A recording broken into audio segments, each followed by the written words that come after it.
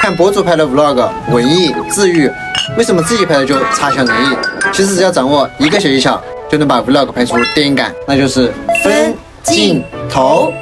动作分镜，以露营为例，首先拍人物拖着露营车走到湖边，但是只拍一个镜头就很单一，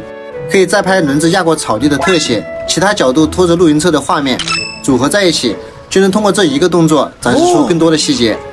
景别分镜，拍摄吃美食的镜头，可以先拍中景，人物准备的画面，再拍烤肉的特写，以及主角品尝的特写，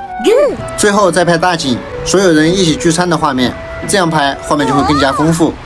接下来看看只用这个技巧拍出来的成片吧。